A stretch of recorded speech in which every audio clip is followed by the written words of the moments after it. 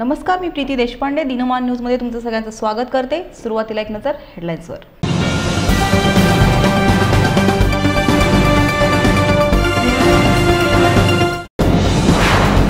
दगाफटका झाला नसता तर देवेंद्र फडणवीसांनी वसंतराव नाईक यांच्या सर्वाधिक काळ मुख्यमंत्री या विक्रमाची बरोबरी केली असती चंद्रकांत पाटील. कॉस्मॉस बँकेवरील सायबर हल्ला प्रकरणातील पाच कोटी बहात्तर लाख रुपये परत. कंपनीत शिरून पाच ते सहा जणांकडून कंपनी मालकाची हत्या चाकण परिसरात खळबळ. गाड्यांचे पार्ट्स बनवणाऱ्या कंपनीत भीषण आग. आता बातम्या सविस्तराने. दगाफटका झाला नसता तर देवेंद्र फडणवीस यांनी वसंतराव नाईक यांच्या सर्वाधिक काळ मुख्यमंत्री या विक्रमाची बरोबरी केली असती अशी खंत भाजप प्रदेश अध्यक्ष चंद्रकांत पाटील यांनी व्यक्त केलंय. पुण्याचे महापौर मुरलीधर मोहोळ यांच्या गौरव समारंभात ते बोलत होते. पुढचं कळतं आणि मला भविष्य फार कळतं. फार कमी लोकांना माहिती आहे. माहिती आहे. आणि त्यामुळे मला असं वाटतं की आगामी काळामध्ये इव्हेंट मॅनेजमेंटने निवडणुका जिंकता येणार नाही. इव्हेंट मॅनेजमेंटने नेता होता येणार नाही. इव्हेंट मॅनेजमेंटने राज्य चालवता येणार नाही. तर प्रत्यक्षामध्ये सामान्य माणसाला जसं देवेंद्रजींबद्दल विश्वास निर्माण झाला त्या प्रामाणिक माणूस अनेकांनी असं म्हटलं. ते हे ब्राह्मण आहेत ते महाराष्ट्राचं कसं नेतृत्व करणार? सहा आठ महिन्यात तरी बंड होतच बघा. काही झालं नाही. आणि दगाफटका झाला नसतं तर वसंतराव नाईकांचा रेकॉर्ड पण त्यांनी मोडला असता. एक रेकॉर्ड तरी त्यांनी मोडला. की सलग पाच वर्ष सलग पाच वर्ष महाराष्ट्राचे मुख्यमंत्री वसंतराव नाईकांनंतर देवेंद्र अजून एक टर्म मिळाले असते. तर वसंतराव नाईकांचा अकरा वर्षाचा रेकॉर्ड आहे. तर ते दहा वर्षापर्यंत तर नक्की पोचले असते. त्यामुळे त्यांच्याबद्दल जसं काम केल्यामुळे लोक असं म्हणाले की हा प्रामाणिक माणूस आहे. खरं म्हणजे आताच अंकुश काकडेजींचा चे विचार आपण या ठिकाणी ऐकले. आणि एका गोष्टीची खात्री मला पटली की पुण्याच्या कुठल्याच काकड्यांवर कोणाचाच अंकुश चालू शकत नाही.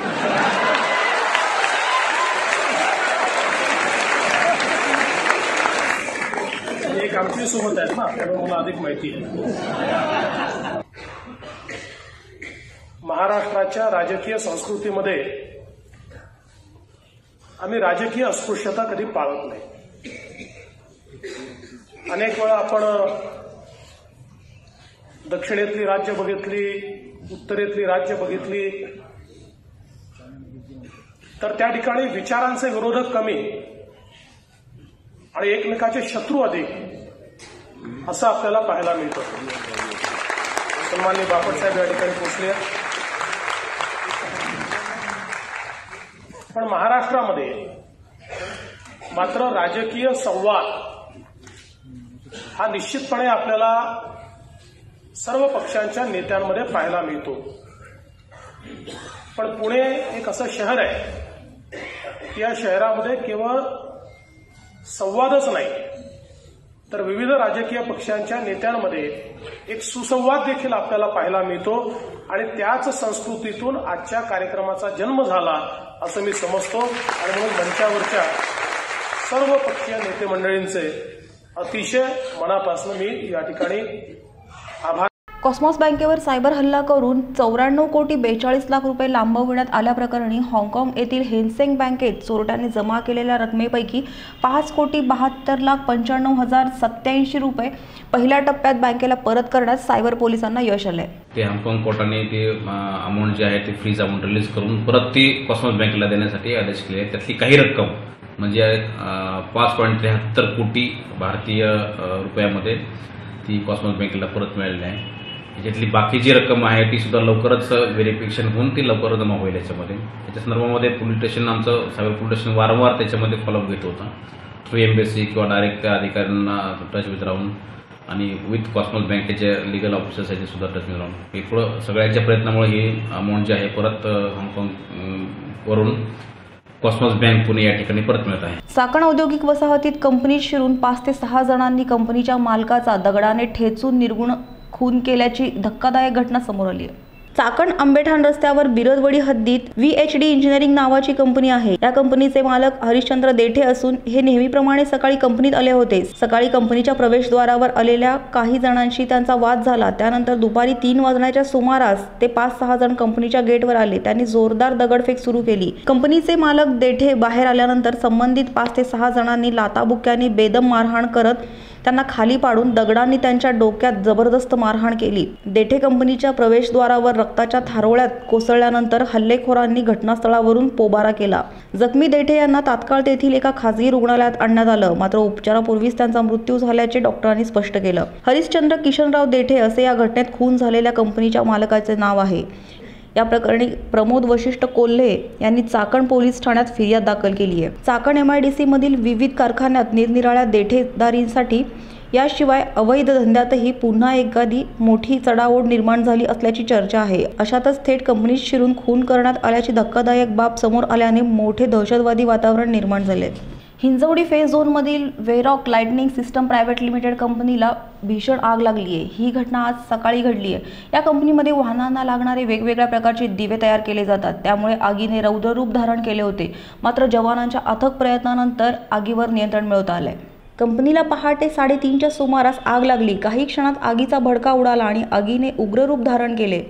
काही वेळेत मोठ्या प्रमाणात आग लागली. पुणे अग्निशमन आणि पिंपरी चिंचवड अग्निशमन विभागाचे संत तुकाराम नगर रहाटणी येथील तसेच Hinjewadi M I D C phase एक आणि फेज दोन अग्निशमन दलाचे बंब पी एम आर डीचे दोन बंब त्याचप्रमाणे पाण्याचे टँकर घटनास्थळी दाखल झालेत. आगीवर नियंत्रण मिळवण्याचे काम सुरू आहे. मात्र आग मोठ्या प्रमाणात लागली असल्याने जवानांना आग विझवण्यासाठी शर्तीचे प्रयत्न करावे लागत आहेत. आगीचे नेमके कारण तसेच जखमींबद्दल माहिती मिळाली नाही. आता घेऊ एक छोटीशी विश्रांती. स्मार्ट सिटीत प्रत्येकजण झालाय स्मार्ट. प्रत्येक गोष्टीत प्रत्येकाला हवाय स्मार्टनेस. हीच बाब लक्षात घेत आम्हीही झालोय स्मार्ट. प्रत्येक बातमी देतोय निर्भीडपणे तेही स्मार्ट वेळेत. म्हणूनच सोशल मीडियावर गाठलाय बेचाळीस लाख एक्क्याण्णव हजार आठशे पेक्षा जास्त व्ह्युअर्सचा पल्ला. तोही स्मार्ट प्रेक्षकांचा. प्रत्येक बातमीत मिळेल अचूकता आणि सत्यता. म्हणूनच सोशल मीडियावर जिंकतोय हजारो लोकांची मने. प्रत्येक बातमी ठरते प्रभावशाली म्हणूनच होते फॉरवर्ड आणि सुपरफास्ट असाच करणार प्रभाव प्रत्येक क्षेत्रात तुमच्या साथीने. पाहत रहा दिनमान न्यूज एक निर्भीड व्यासपीठ. वेश्या व्यवसाय करणाऱ्या महिला गुन्हेगारीकरणामुळे आरोग्य सुविधांपासून वंचित राहतात. या विषयाला धरून महाराष्ट्र कर्नाटक तामिळनाडू या राज्यांमध्ये लैंगिक आणि प्रजनन आरोग्यविषयी सप्टेंबर ते नोव्हेंबर दोन हजार एकोणीस दरम्यान एक हजार महिलांमध्ये सर्वेक्षण करण्यात आले सर्वे घेण्यात आला. सखोल अभ्यास होता तो.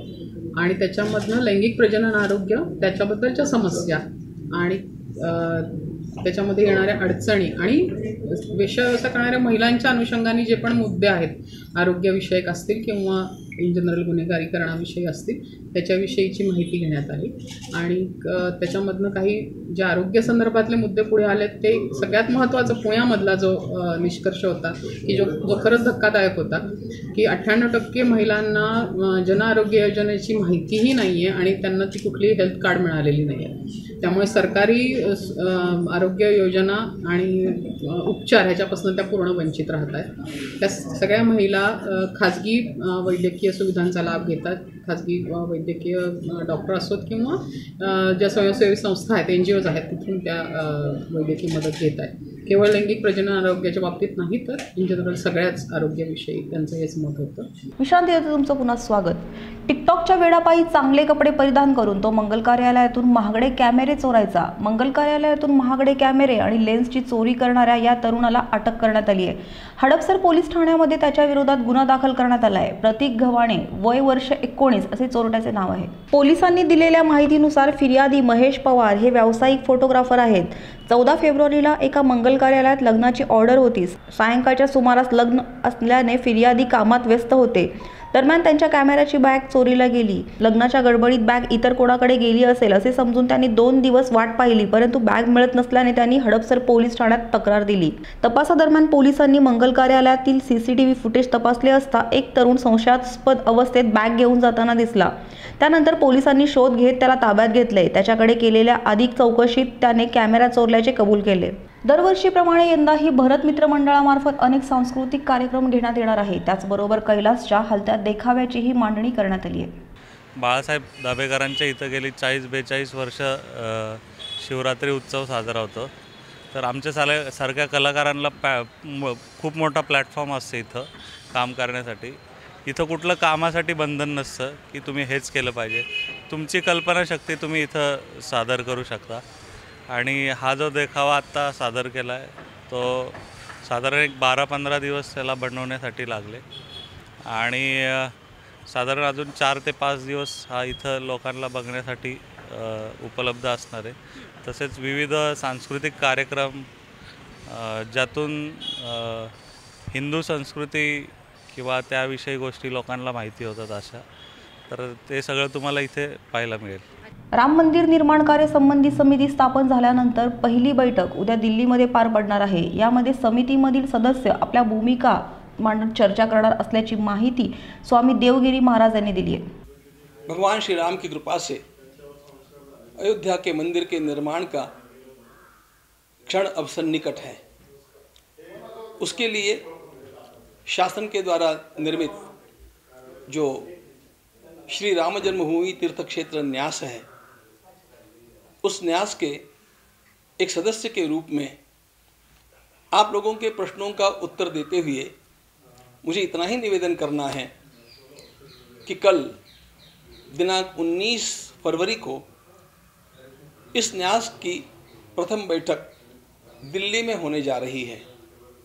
इस न्यास के जो प्रथम न्यासी है, श्री पराशरन जी, जिन्होंने यह संपूर्ण केस लड़ा और उसमें सफलता प्राप्त की, जिनकी अवस्था इस समय बयानवे वर्ष की है, उन्हीं के निवास स्थान पर यह बैठक होने की है। इस बैठक में, चूँकि यह पहली बैठक है, हम लोगों को न्यास की जो प्राथमिकताएँ हैं, उनको पूर्ण करना आवश्यक रहेगा और उन प्राथमिकताओं में निश्चित रूप से हम लोगों को जिन नए न्यासियों का सहवरण करना है उनका सहवरण करना यह प्रथम बात रहेगी। पुन्हा एक नजर हेडलाईन्सवर